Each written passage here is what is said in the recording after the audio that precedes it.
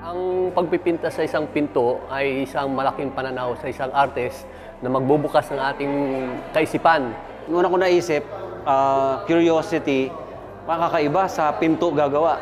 Mas mahirap siyang gawin kasi unang-una yung size niya, pati yung bigat.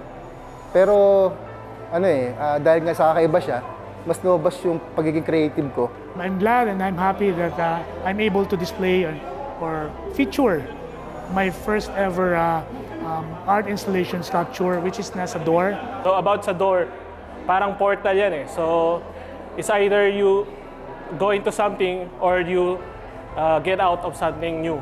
So parang symbolically, yung doors, ah, parang nagre-represent siya ng opportunity no? from, from one place to another or from one state to another.